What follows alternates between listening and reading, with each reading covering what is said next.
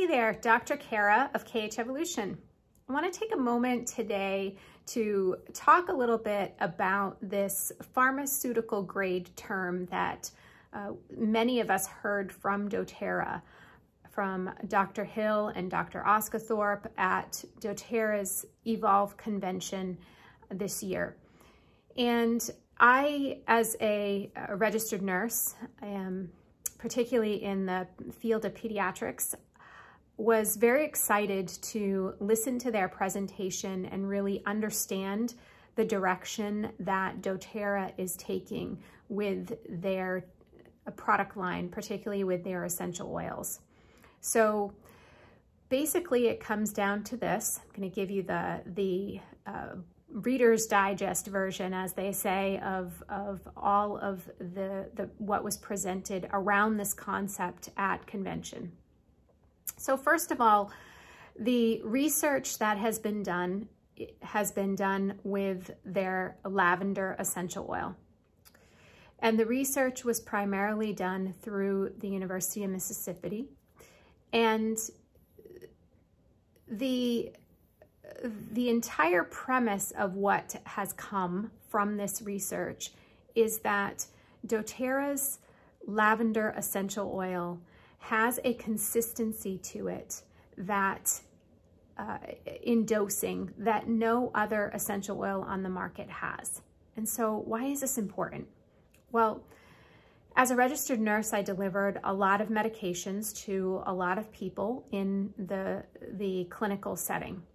And when we are uh, learning about medications and we're learning about the delivery of medications, there's a few important, and there's many important things, but there's a few important things that we tend to think about more often than not, or every time that we deliver that medication. And number one is the consistency. Is the consistency uh, of that medication enough so that we can depend on the action every time that it's given. So for example, if we deliver Tylenol uh, to uh, a patient, we can, um, with security and uh, surety, realize what exactly can we expect from delivering that medication. And if we don't get those results, then we know that we need to go back to the drawing board and look at other things look at the, uh, the situation again, kind of critically assess.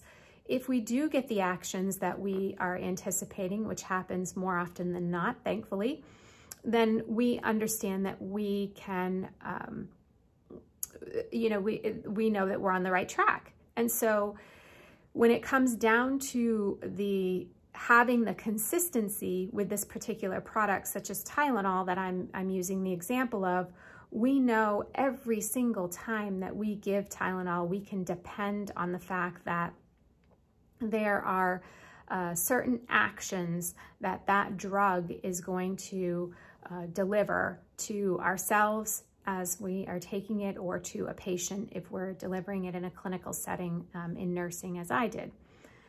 So when it comes back to this study on lavender essential oil, basically because of the efforts that doTERRA goes through in regards to sourcing all of their essential oils. Now, what does that mean?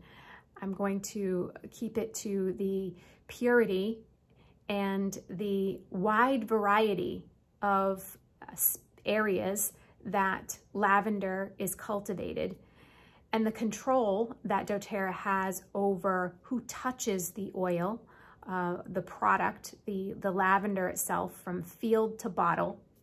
It provides this purity that no other organization out there can pledge to. So that number one contributes to the consistency that we can see in the lavender essential oil. Um, and we look at the purity that speaks to the consistency. Now, when we go to define consistency, what does that mean? A pharmaceutical grade drug has to have a certain margin, meaning it has to, uh, within one milligram, uh, be consistently delivered in that pill in that um, liquid. So there has to be a, a consistent amount of active ingredient in each dose of pharmaceutical drug that's given or is put on the market.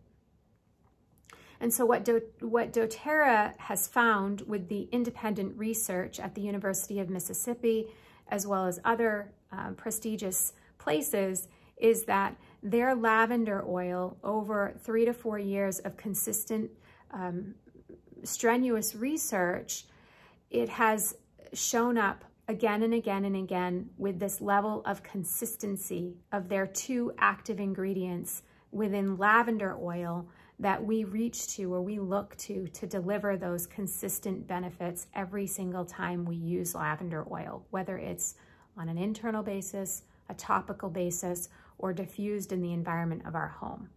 So I just want to clarify before I bring closure to this video. Number one, we're not calling our lavender oil pharmaceutical grade. There is no uh, organization, um, particularly even the FDA, that is regulating any of the doTERRA products. Therefore, we cannot label them as pharmaceutical grade.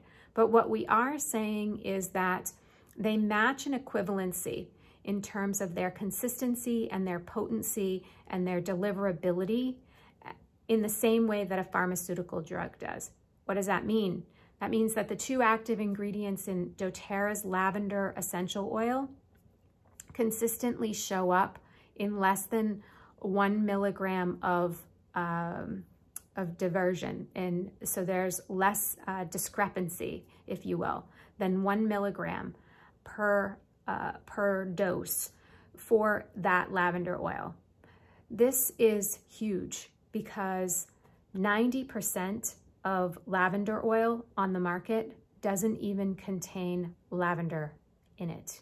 It is all chemically derived and filled with chemicals, uh, toxins, and other um, uh, substrates that really are harmful possibly to our body rather than helpful. So there's no therapeutic value to 90% of the lavender on the market. And so we need to really take responsibility for what we are putting into our body, what we are putting on our body, and what we are breathing into our body.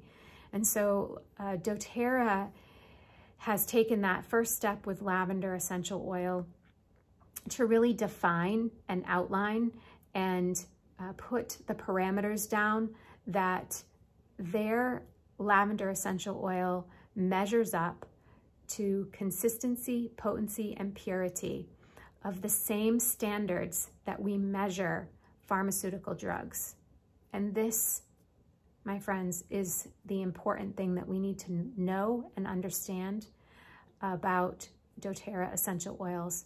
And that makes all the difference.